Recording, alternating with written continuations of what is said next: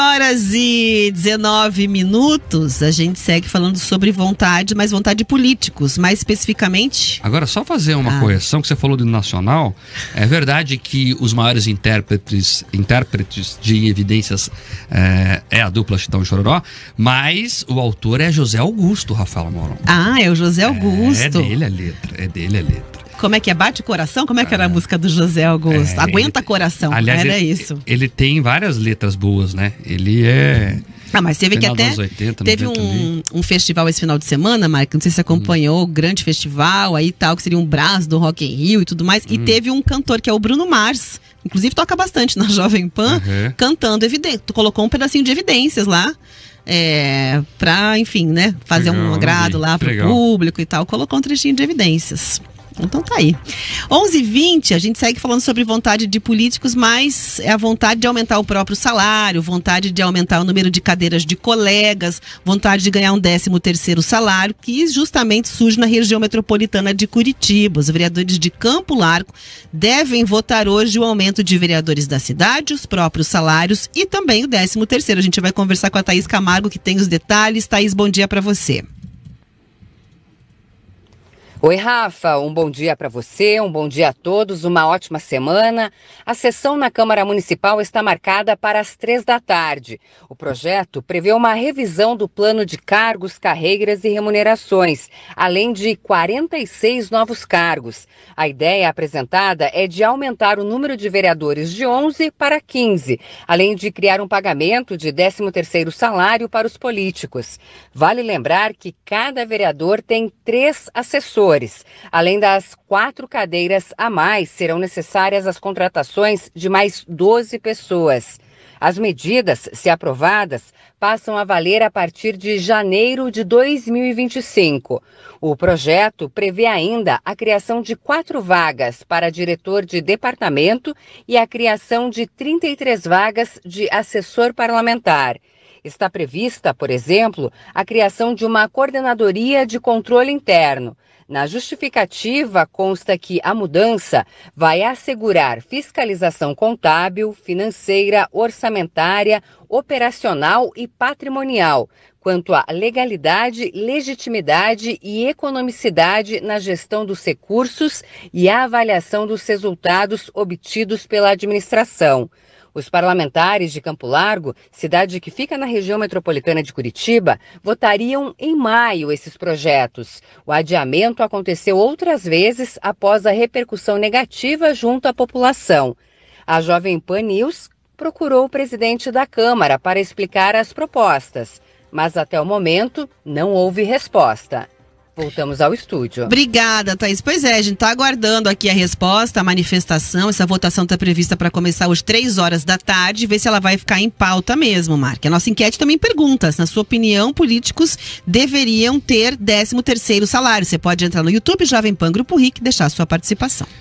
Eu continuo com o desafio que eu fiz aqui na Jovem Pan ao presidente da Câmara de Vereadores de Campo Largo, seu João da Água, para percorrer as ruas de Campo Largo e perguntar às pessoas se elas querem mais vereadores.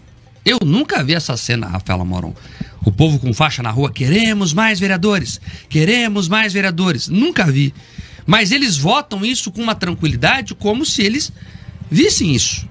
Essa manifestação, essa vontade popular. Eles são representantes do povo, estão lá para né, nos representar, para atender os anseios da população. A população não quer mais vereador.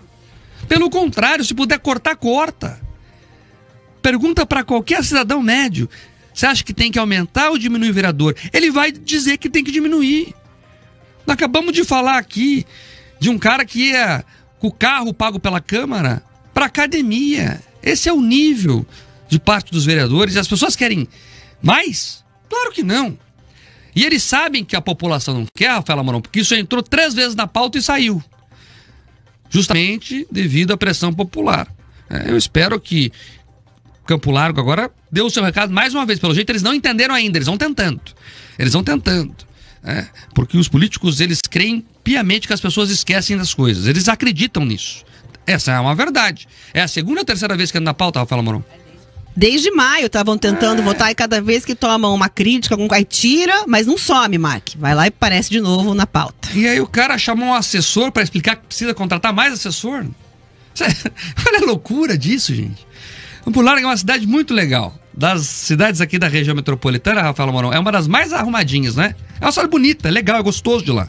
É uma cidade organizada, bacana, povo trabalhador, trabalhador demais, inclusive. Não precisa de mais vereador, não precisa. É mais gasto. É, cada um desses vai ter quatro, quatro assessores, no mínimo, né? De lambuja. Então já faz a conta ali. Vai ter, deve ter um carrinho. Vai ter uma gasolina vai ter, né, ali o telefone, vai ter até selo, eles têm até selo, até hoje eles gastam com selo, e, e assim a conta vai aumentando. E aí, Rafael Moron, hoje nós demos aqui na Rede Jovem Pan a notícia que os prefeitos estão todos reclamando que estão sem dinheiro. Vão passar o boné em Brasília? Não sei se está na tua pauta essa, essa informação aí, mas a gente já deu de manhã, tá lá no portal Rick Mais também, se você quiser uh, acessar. Agora não é Rick Mais, é rick.com.br. rick.com.br. Mudou o endereço. rick.com.br. Tá lá. Tá lá. Então eles estão pedindo dinheiro porque diz que não tem. Estão passando boné em Brasília reclamando, que prefeito também adora reclamar. E, e, reclamando, reclamando, reclamando. Mas ao mesmo tempo, daí você vê algumas cidades aumentando os gastos com vereadores. É um tapa na cara do trabalhador brasileiro. Você que está acordando agora, né? Acordando agora não, que já são 11h30. Mas assim, você que está indo trabalhar, ou que já está trabalhando, está levando o filho para a escola agora né? É mais ou menos a hora de, de buscar o filho na escola que é de manhã e preparar a criança que começa a estudar uma hora da tarde. Você tá pagando teu boleto em dia? Aliás, hoje é dia quase dia 5, hein? Vai começar a vencer. Paga aí porque precisa aumentar a vereadora em Campo Largo. É, e vale dizer o seguinte, Marca, ano que vem tem eleição municipal, né? Bom que as pessoas não esqueçam é, isso. E eu disse isso aqui, vamos reforçar, Rafael Moron. É, pega o nominho, todos eles, é João da Água o nome dele, né? Ele quer aumentar o vereador. Ah, então você lembra ano que vem do seu João da Água que deu mais uma conta para você pagar, né? É isso. 11 horas e 26 minutos. Você pode participar com a gente lá no YouTube. Estamos ao vivo em Jovem Pan Grupo RIC. Nossa enquete pergunta se políticos deveriam ter 13 terceiro salário. Você entra lá, coloca a sua opinião e inclusive pode enviar também nosso 41984 18171. Tá aqui o ouvinte final de telefone 5765, 13 terceiro para políticos. Quem é o doente que propôs um horror desses? Colocou aqui a participação indignada. Eles mesmos. É, eles mesmos.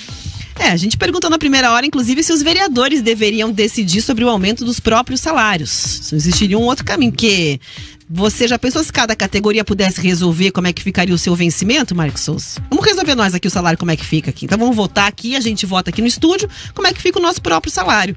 Será que a gente vai ter um ponto de vista que vai nos favorecer é, diante da população ou vamos ser justos e equilibrados? Isso é um absurdo, né? Eu ainda acho que a gente tinha que aprovar uma legislação mais eficiente nesse sentido. Eles querem aumentar os salários? Coloquem né, ali uma pergunta junto com as eleições, né? Um referendo junto com as eleições. Ó, podemos aumentar os próprios salários em tantos por cento? A gente vota sim ou não. Nós somos os patrões, não é isso que eles dizem no discurso? Então é isso. Nós decidimos é que eles sabem o que vai acontecer, né, se eles fizerem isso.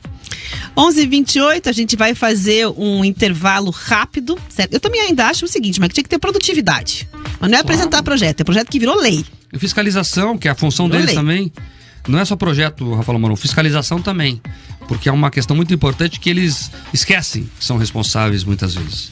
Ah, tem gente dizendo lá, político não é profissão. Colocou lá um Rafael. É, não é, né? Mas em alguns casos parece que é um emprego vitalício daqueles anos 50, assim, né? Fez o concurso do Banco do Brasil, tá lá, não sei quantos mandatos, já sabe que vai estar no próximo. É, e ficam ali mandatos a fio, né?